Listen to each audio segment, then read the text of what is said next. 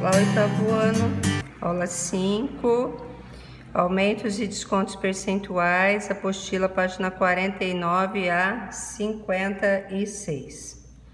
É muito comum ouvirmos falar em acréscimos e descontos sobre valores a serem pagos, mercadorias compradas, impostos e boletos a pagar, etc.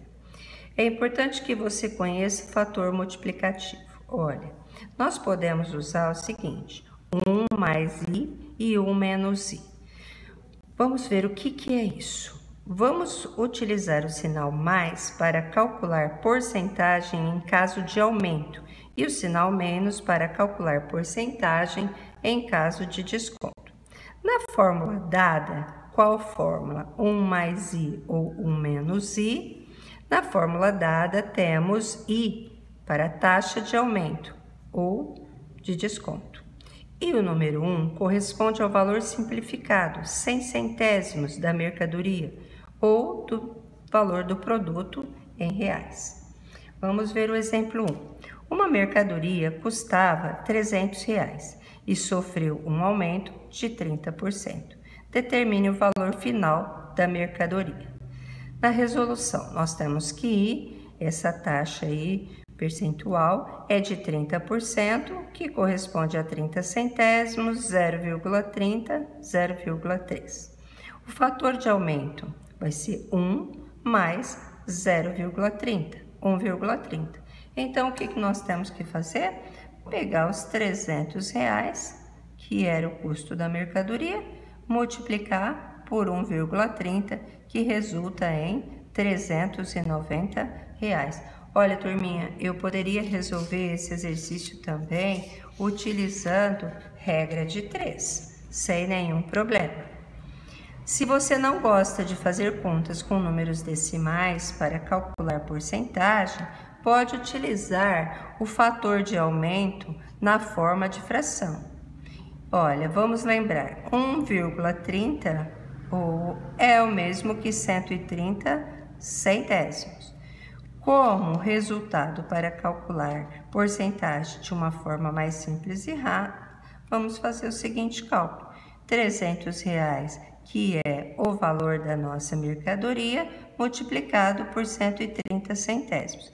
Ó, um zero mais um zero, um zero mais um zero. Simplifiquei. Então, ficou 3 vezes 130, 390 reais. Então, esse cálculo ele foi facilitado aí utilizando a equivalência de frações, equivalência de números decimais. Vamos lá agora para um exemplo número 2. Ana quer comprar uma televisão, uma nova televisão. Ela decide comprar uma Smart TV que é Full HD. Olha, Antes de ir à loja física, faz uma consulta na internet para pesquisar o preço do televisor. Ela descobre que o valor da televisão é de R$ 1.580. Ao ir à loja física, Ana leva um susto, que na verdade é uma boa surpresa. O televisor que pretende comprar está com desconto de 30%. Calcule quanto Ana pagará pela televisão. Preste atenção então na resolução. Esse é um exemplo de desconto percentual. Sendo assim, podemos utilizar 1 menos I. Então, o valor 1, que é o valor da mercadoria, R$ 1.580, e a taxa de 30%, 0,30.